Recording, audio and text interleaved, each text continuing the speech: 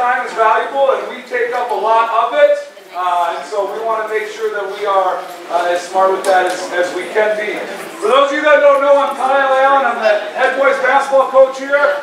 This is my sixth year as the head coach at Pine City. Um, first and foremost, I want to thank all of you that have come. Um, I look at this from six years ago when we started, when we had 17 people sitting in here doing this first meeting, and now we are at overcapacity. So it's it's uh, humbling to see all of this. I'm very grateful for all of you that you do as parents and as families to help us accomplish the things that we want to accomplish with your sons. Um, and we're very excited to have them. They've been working hard, those that have been with us for the first two days. Uh, and I know that we, uh, we use lots of time and um, we ask a lot of them, but we're, we're very excited for what's coming. Coach C is our athletic director. He is actually going to start the meeting off, and I'm going to finish the meeting, and, uh, and then we'll be around to help you with anything you need. So Coach C is up. All right, thank you.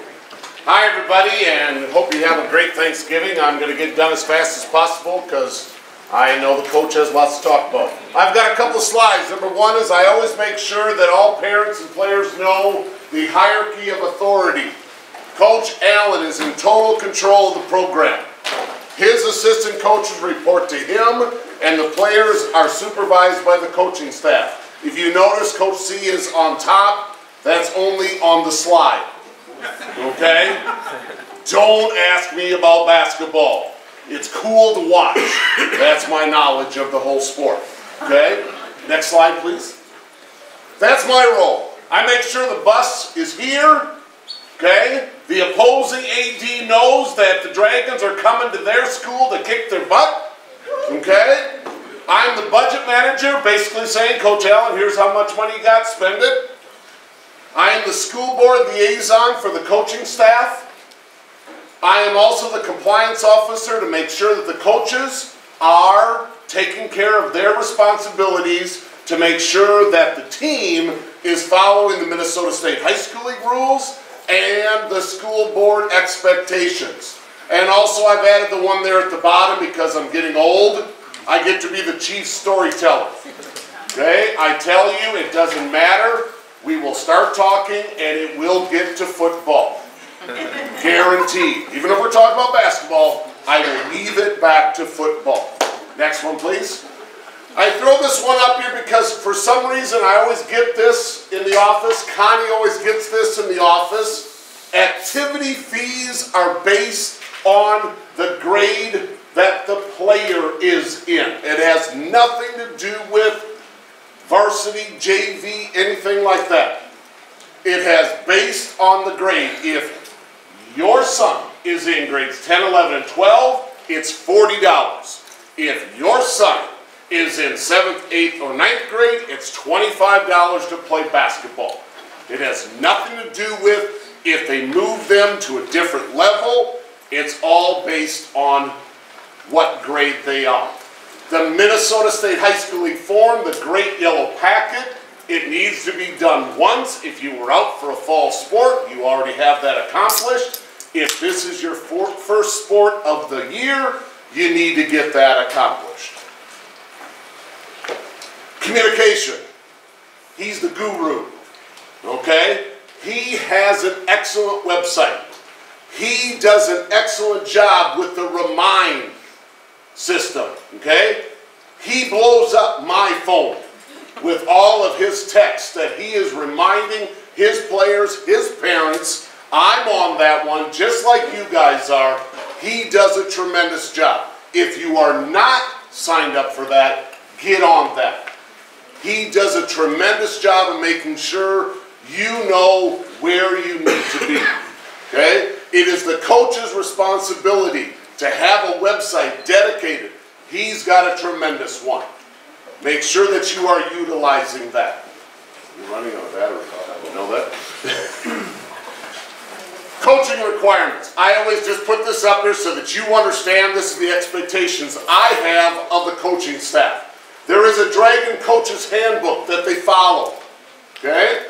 There is a procedures that they need to make sure that all of their players are understanding. Severe weather, well, we are going to get some here. It's not too bad tonight, but we are going to get some. There's a potential that the bus could go into the ditch. Okay? You gotta have the clothing to wear that it could be hours before we get to you. All right? And the heater no longer works because the engine blew on the bus. Okay? Those are things that he will take care of with his team. The transportation issue coming home from Bram. All right? He's going to cover it. His coaches will cover it with your sons regarding how you can claim your son at the end of the game. Okay? Or if you want to go home with somebody else's parents. There is a procedure for this that must be followed. And the bottom part there, I like to always emphasize this to you, moms and dads. I guarantee you, your son is going to be supervised from the moment practice starts until the moment they leave the school grounds. Okay, the coaches don't go home at the end of practice. They go home when the last player has been picked up or leaves the school grounds. Okay, they know that is their responsibility. Please help with that because they are family members at home waiting for them to get home for supper. Please get here as fast as possible to pick up your son so they can go home as well. Got it? Safety, okay? Nothing brings a quicker response than when Coach Allen or any of his coaches come to me and gives me a concern that they have over the safety of our facilities. That will get a quick response. I have a great working relationship with our custodial staff, our maintenance crew. I have a great working relationship with our superintendent. Okay? If things need to get changed, they will get changed and it will be immediate and fast. Okay? Your son, all right? They get, last year I called it the Cadillac version, all right? Pine City is the only school in the area who has the Cadillac version of our athletic trainers. Okay, First Light provides them. We have a trainer on duty five days a week. Okay, some of our surrounding schools don't have the Cadillac version. They have a trainer on site maybe twice a week. I'm not sure what you're supposed to do the other three days. I guess you're not supposed to get hurt. Okay, we have a trainer on duty five days a week. That trainer will be at our home basketball games. Okay? We have that person here. We, the school district, pays for the Cadillac version. All right? Is she here? I haven't seen that. She's not coming tonight, she has hockey years, hockey. She went with hockey. Really? What's up? Okay. So click it to the next one if you're a good coach. Her name is Becky Huberty. Okay? She is a tremendous one. We will keep her. She's great. She works well. She's got great experiences already. She's got great ways to communicate with the athletes. She does a tremendous job. Next one, where'd you go? Push the button. Hey, push the button. Yeah. Now, good.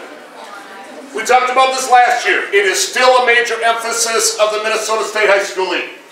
Why we play. That's what they call it. Why did the boy go out for basketball? Why do our coaches do what they do? Why does our school provide these experiences? That's the emphasis behind it. Next one, please. Okay? The goal of all our programs, and especially the boys basketball program, is to win. That's a no-brainer. Coach Allen does everything he can to help his program strive to be conference and state champions. But that is not the purpose. Okay?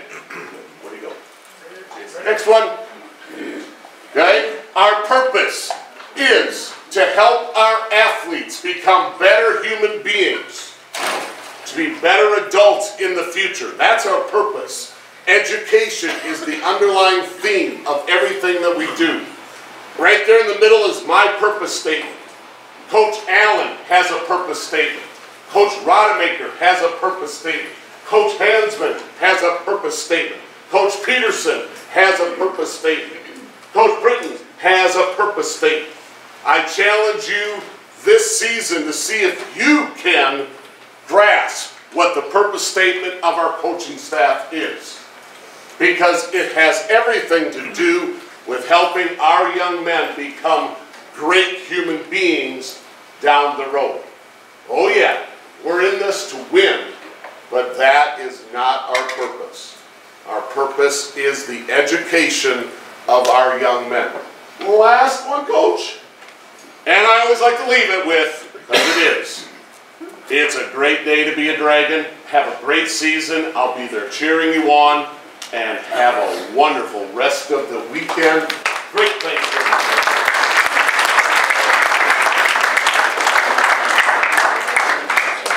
Okay, my goal is to be as short as possible this year. Um, I've been known to talk a lot, so I'm going to try to be quick.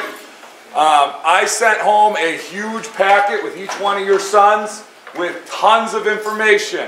Um, I know that, but that was hopefully to keep this shorter. My goal is to be transparent. I want you to know what we're about, what we're doing, when we're doing it, why we're doing it. Um, I have no issues with that. So I sent home a lot. I know that. If you need another copy, let me know. I can get you one.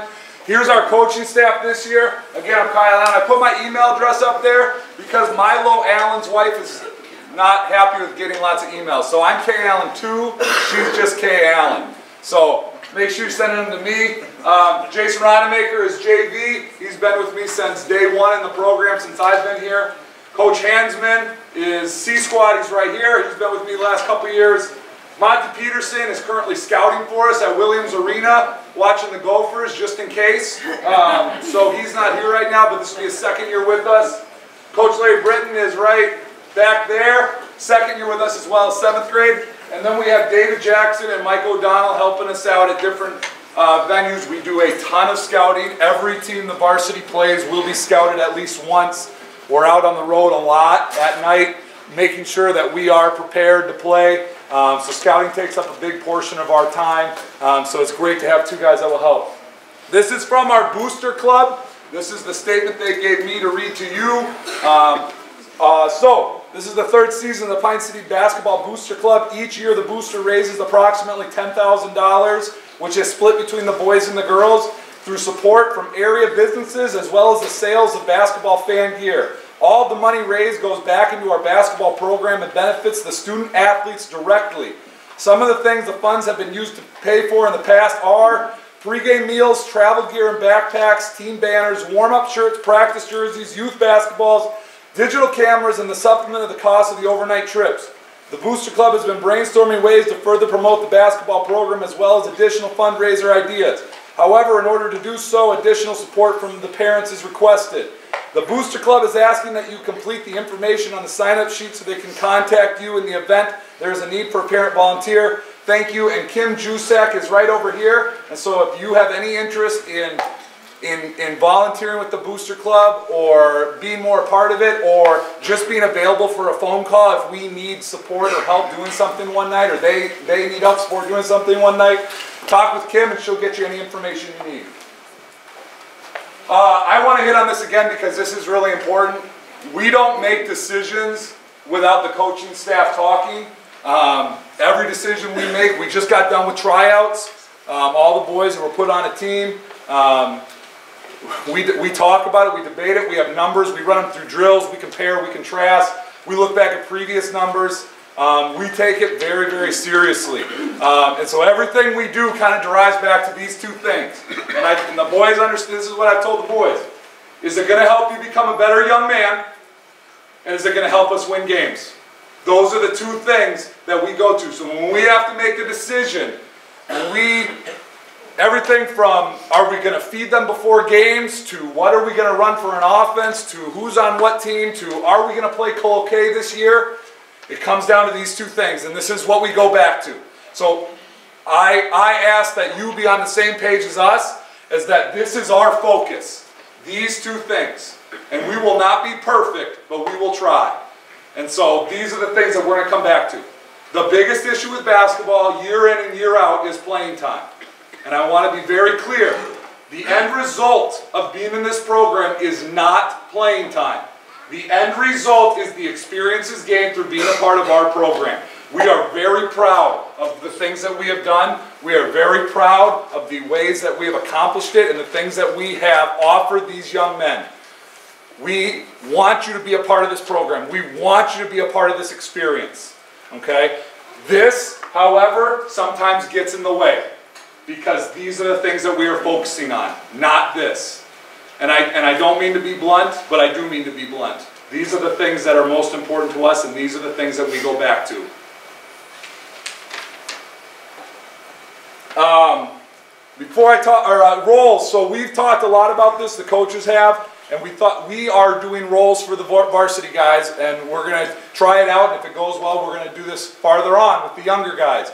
So we thought this would be a nice time to talk about roles here as well. And we, uh, as coaches, we want to make sure we're making the best decisions around our purposes and our goals. As players, we ask them to participate and have a positive attitude and effort. And as parents and fans, we ask for positive support in return. Um, I had a different experience that I've never had before over the last couple weeks. I had the ability to go watch three former players of mine at Pine City play college sports. I saw Mitchell Hansman play football. I was with Noah Adams at his first basketball game, and I was with Cole Jusek at his first basketball game. Now, when I say this, understand that I mean this from the bottom of my heart. I love these kids. I love doing this job. I love these boys. We spend countless hours together. These guys have the opportunity to be with me a lot. And so I love these kids, and I grow to love a lot of these kids. I got so mad watching those games because Mitchell wasn't getting the ball enough. And why wasn't Cole in the game? And I couldn't understand it. And I turned to Wayne, I turned to Kim, I turned to Deb and, and Jeff, and I had to really take a step back. I didn't know what was going on in practice. I don't know what these other kids are doing on the floor. I don't know what Cole and Noah Mitchell are doing at practice. I don't know what the coach's goal is. I don't know what they're trying to run. And I let my own personal bias really get a hold of me, and I, for the first time, I really had that. I've never really had that. Um, so that was a new experience for me. So I, I understand a little bit more um, going back to the idea of the playing time thing. I want us to be on the same page. I want us to understand that our goal is to win games, and our purpose is to help create great young men. And we try extremely hard to have those two things in mind in everything we do. We try to be very, very purposeful. Uh, and I, again, I know that we ask a lot of the boys. I know there are a lot of opportunities, okay? But we have a lot of boys out. We have a lot of boys that want to be a part of this, and we're very excited and proud that we have a lot of boys that want to be a part of this. Um, we feel like we do something very special, and we feel we do it the right way. And so we're really excited to have them here. We're really excited to have you guys here. Um, and we're really excited about what's happening with our program. The last thing, and I'll have this up at the end, Coach C talked about the text messages. I have the three here, so this is for all fans. This one is for anyone who has a player in 7 through 12. And this one is for um, JV and varsity. Uh, where's Quentin? So Q and I were talking earlier about mistakes, okay? When I gave you this packet, I could have laughed. I, when I gave you this packet, I didn't put enough B's down here. So some of you have been trying to sign up and it wasn't correct. So the JV and varsity one was a little wrong. I was one B short. So you, if you tried to sign up for that one and it didn't work, this is the new one. Um, we have a sign up in the back to prove we want you guys here. I want to be transparent. I want to be aware. I want to stand in front of you and say, this is what we're about. This is what we believe in. This is what we want to do. This is how we want to do it. We're really excited about what we have going here. Um, the last is our blog, and I'm going to run behind because I just want to bring it up really quick.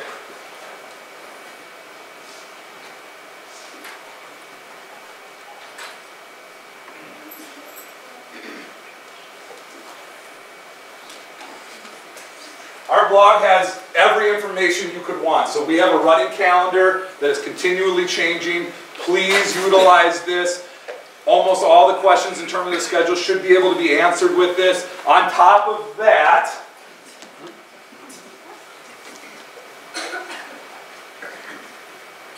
we update with stories. There was my three games that I got in with the boys. Um, we update stories, scores, um, things that we think you need, everything from camps to youth stuff and everything else. So we try to put as much information up on this blog as possible. I am updating this daily. So please check out the blog and please utilize it. And I will leave this up again so that um, you can get any of this information that you need. Um, please sign the form next to your son's name stating that you were here.